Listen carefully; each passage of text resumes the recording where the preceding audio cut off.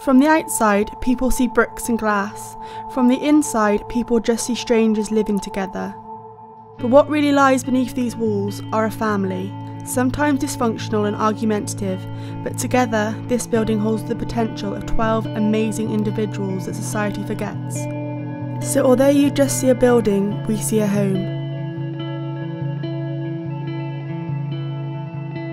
We're a really established member of the community and we've been here for 15 years. I work for SHYPP because I like to see young people grow and develop, to see them reach their potential. I like them to see that they can always achieve more and greater things. WM Homes provide places and communities where people are proud to live and work.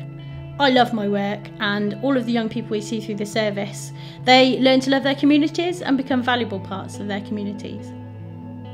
Without SHYPP here, the young people that we have supported, I don't think that we would see them thrive and become such valuable members of the community. They take ownership of their community, they want to feed into it, they want to be valuable.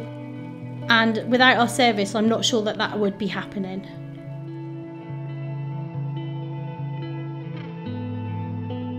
I was homeless for three months. I was abusing drugs and alcohol. I was sleeping wherever I could on the street at my friends. So I got put into a lot of different situations where I could have lost my life. Situations where a young girl should never be in. And as soon as I went into SHYPP, it took me away from everything. All the people I was suffering because of, because I hadn't grown up yet and I didn't know how to within a couple of months I was, I'm me. but I'm able to budget now and I'll be able to pay my rent and still eat and it's just amazing. I want to be in my own home. What I've always wanted is a family of my own, a secure place where no one can say I'm sorry but you can't be here.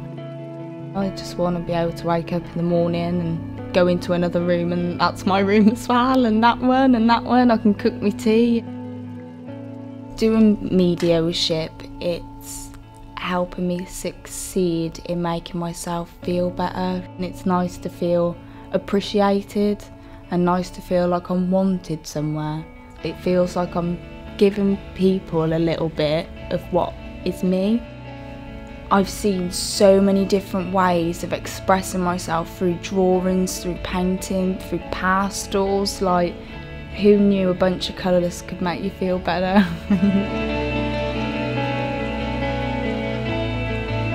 For someone to walk past a piece of my work, not knowing it's me, and going, oh my god, look at that.